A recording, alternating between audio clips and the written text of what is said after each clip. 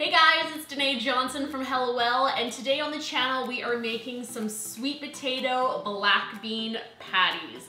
These patties are not only vegan, they are gluten-free, they're dairy-free, and as usual, freaking delicious. So for today's recipe, you guys are going to need some green onion. You are going to need some sweet potatoes. So either two large sweet potatoes or four small ones. Let's see if I can juggle these.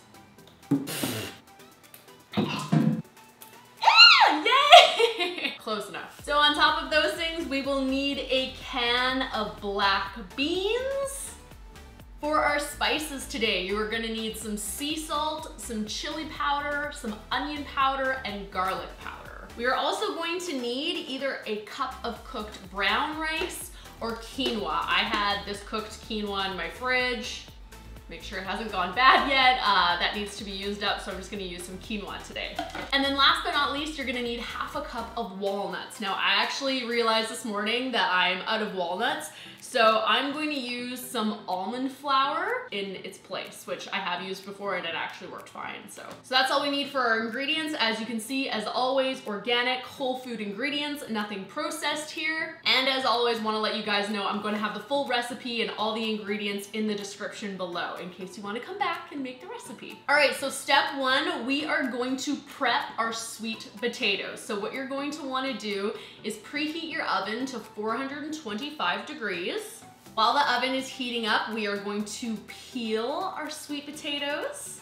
You're then going to chop off the ends and slice your sweet potatoes lengthwise in half. Okay, so once you've done that, you can pull out your baking, uh, baking sheet, baking tray.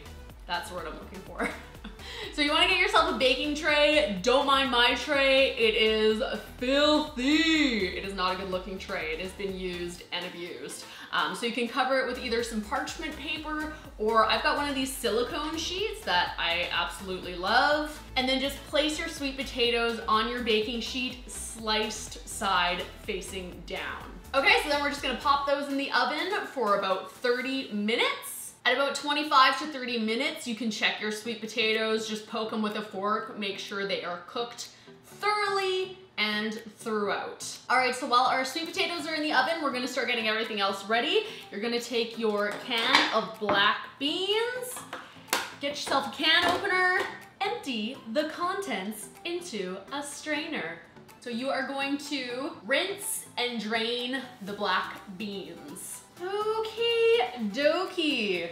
Give them a good shake. So now you're going to want to add half of the black beans to a bowl. So then you're gonna wanna get yourself a potato masher. If you don't have a potato masher, I don't know, maybe you can use your fist. I personally went out and bought a potato masher. So you're just gonna wanna mash half of those black beans to a paste-like consistency. Not sure if you guys can see that, but I've just mashed it into a paste.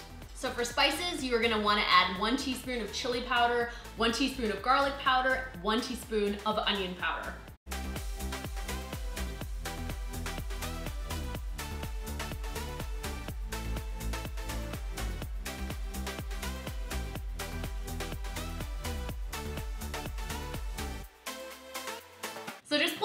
Potatoes out of the oven. I'm just gonna put them off to the side and let them cool a little bit. In the meantime, we are still doing some spices, so we need to add some sea salt. We are going to add a quarter of a teaspoon. I always use Himalayan sea salt. And then I think I'm also actually gonna put in a little cracked black pepper. Just a couple little shakes of that. And that's the great thing about these sweet potato patties is you really can mix up your spices. Sometimes instead of doing this mixture, I'll do a combination of like cumin and paprika and turmeric. So the sweet potato and the black beans are really the base, but depending on what kind of spices you like, you could totally switch it up. All right, so we've added our sweet potato to our mashed black beans and our spices. And now we are once again gonna take our potato masher and Mash those bad boys up. Now we are going to add the remainder of our black beans. Just toss those in and stir those into the mixture. We're going to put this aside for a moment. We now wanna cut up and measure out half a cup of green onion.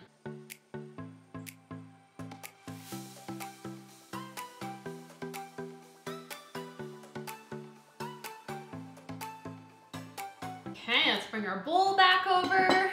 Add the half cup of green onion. So that was about three pieces of onion made up half of a cup. All right, now we're going to add our quinoa or brown rice. I honestly kind of prefer brown rice in this recipe, but I don't find it makes a huge difference. Toss that in.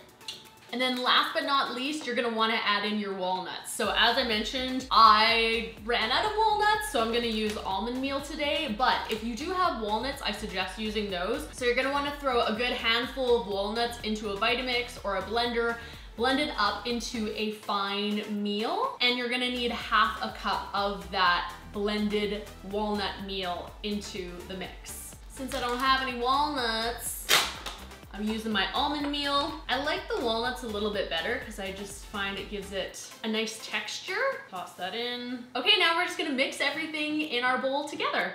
I usually like to start by mixing it by spoon, and then I usually get in with my hands and just go to town. Now at this point, I personally always like to make sure I wash my hands because God knows where these hands have been. So I'm gonna wash my hands. But if you're nasty, if you're filthy like that, I mean, feel free to just go in there with dirty hands. To each their own.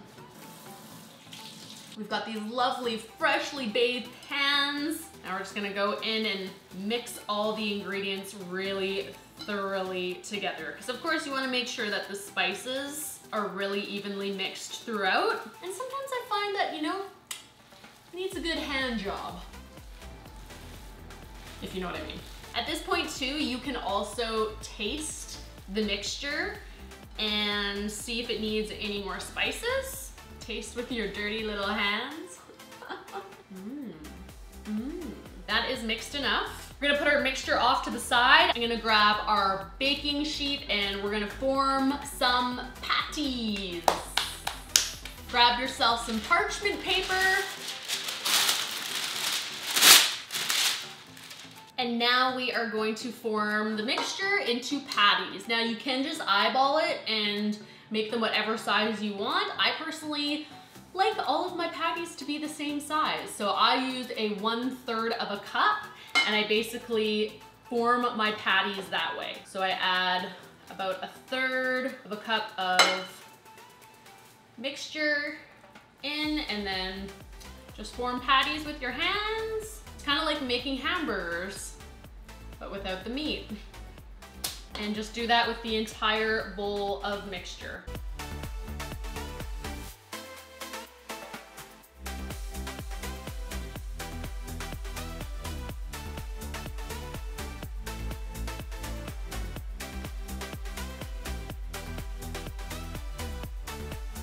And that's it. So how many patties did that make? Four, eight, nine, 10, 11, I used some pretty big sweet potatoes today. I usually find that this recipe makes about eight patties, but that's okay. We'll eat them. Got my little oven mitt. We are now going to put these in the oven for 20 minutes.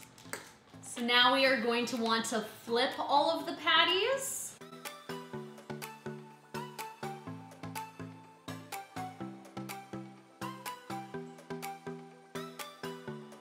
So after you flip all of your patties, we're now gonna put them back in the oven for about 10 minutes.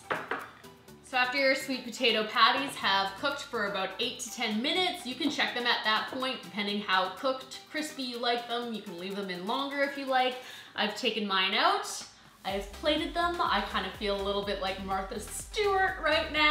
So I hope you guys like this recipe. I literally live on these things. They are fantastic for a snack when you're on the go if you're busy. I also eat them almost every day in a salad with a little bit of like nut cheese, a big green leafy salad with tons of vegetables and then one of these patties, you're getting your protein from the black beans and the quinoa, and then of course some good healthy carbohydrates with the sweet potato. So uh, let me know if you guys give this recipe a try, give the video a thumbs up, and of course subscribe down below if you'd like to be notified when future videos come out. Thanks so much for watching you guys, take care, and we'll talk to you next time.